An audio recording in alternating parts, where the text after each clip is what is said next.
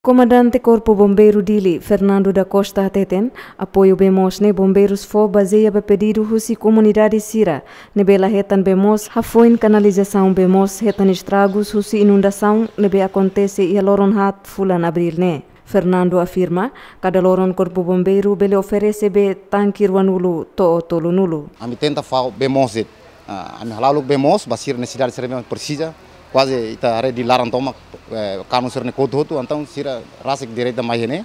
Halo sirne pedido mai usu bemos para ame fo fo apoio bemos sir basira ita conta hahu sidader am maina 8 horas ame hahu halau nam misau. Antang ne to tuklima ame para. Antang be be makami fo bane por volta de tangki ronulu o tolnulu mam fo sai posai para bakom dari kara aldeia ida am haru ka tangki hat lima depois ira ho rama tamba fala aldeia selu. Ia hu primeiro ne ami direita ho masa dit.